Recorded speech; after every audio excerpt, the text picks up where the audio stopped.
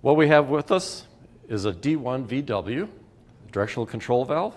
This particular model has AC coils and AC tubes along with DIN connectors.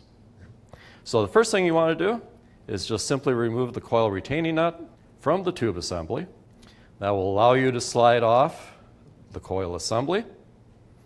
Now there is an outer, large outer O-ring and also a smaller inner O-ring.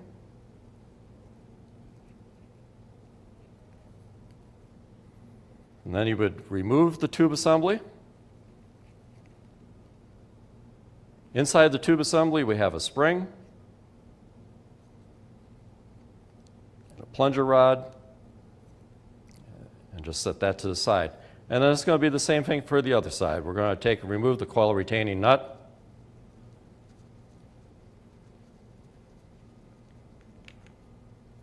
Slide off the coil remove the outer O-ring. And again, the torque is broken on this tube assembly. So we're going to remove it. Oop. So we have the spring, we have a plunger rod, and the tube assembly. Now inside, what's left is the washers for the spool on both sides. So lay those out. And then, of course, we have the spool. spool we want to check and make sure is free of movement. Do not want to use any excessive force to get the spool out of the body so we don't damage any of the lands. Once the spool is removed from the body, you do want to take note of the direction of the arrow on the spool itself because we want that arrow in the same orientation on A port to B port uh, when we put it back together. We want to point out a couple things on the valve's nameplate, the Parker nameplate. Top line is the Parker part number, so this is a D1VW series. On the far right side of the top line, there's going to be a two-digit number and that is going to indicate the design series of this valve. In this case, we have a 91 series valve. So when you call a distributor asking for service items, make sure you know that design series because it will have, they will need to know that to be able to help you out with uh, spare parts. So putting the valve back together, you know, first thing we want to do is look at the body itself, make sure it's not damaged, especially on the sealing surface area. Uh, we have all the O-rings installed. There's no big gouges in it that would prevent it from sealing once it's torqued. This looks fine. Uh, the valve housing is in good shape. Next thing we want to do is look at the spool, make sure there's no burrs from contamination, uh, anything that would prohibit the spool from moving freely inside the bore. So this is just a good visual review. Make sure there's no shiny spots, which would indicate a damaged area. And as we indicated earlier, there is an arrow on the spool, and we want to make sure that that arrow, the orientation of it, is exactly the same as when the spool came out of the body.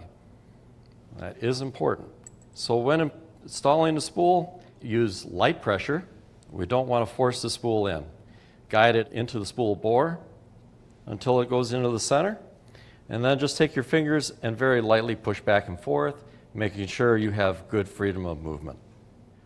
What we want to do next is look at the tube assembly and make sure it's in good shape. The flats on these are for a half inch wrench. The torque on these are 180 inch pounds. We don't want to distort these flats because if we displace the metal, it can have an impact on the manual push pin, which could cause it to lodge and have a, a, performance impact on the valve later by not allowing the spool to fully shift. At some point, you actually have leakage out of this manual push pin. You will have to get a new tube assembly. So, what we want to do is put the push rod back into the tube assembly and the spring. We're going to do that on both of these.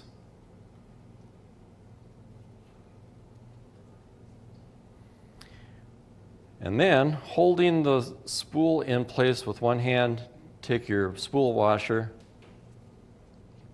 get it on the spool, and just flip and do the other side. And we can set that back down. And then with everything, making sure everything is nestled in the tube assembly correctly, go ahead and install the tube assembly back into the body. And then we are going to torque it to 180 inch pounds. Then we're going to install the inner O-ring, which is going to go up against the body. And then for the coil, a couple things that we want to look at. Any chips in the plastic, cracks in the plastic housing would be of concern. We get questions on what would cause these to fail. Incorrect voltage, whether too high, too low, can cause a failure of the coil. Uh, too high of a flow in a valve can actually cause these to fail.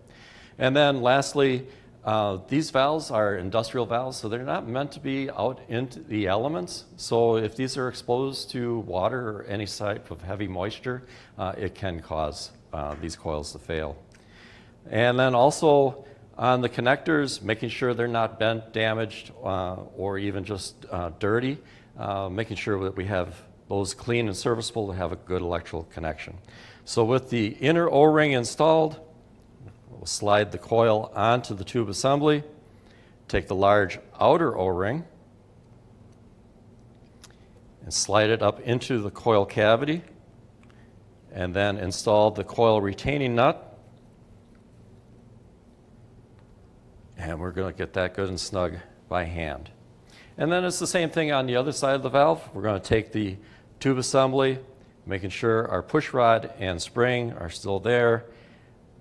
Our washer is sitting up against the spool.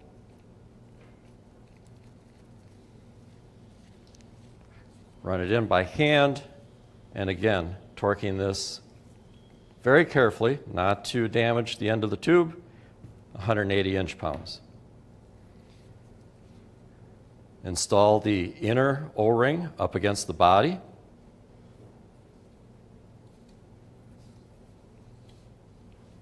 And again, taking the coil assembly, sliding it over the tube, install the outer O-ring into the coil recess, and then installing the coil retaining nut.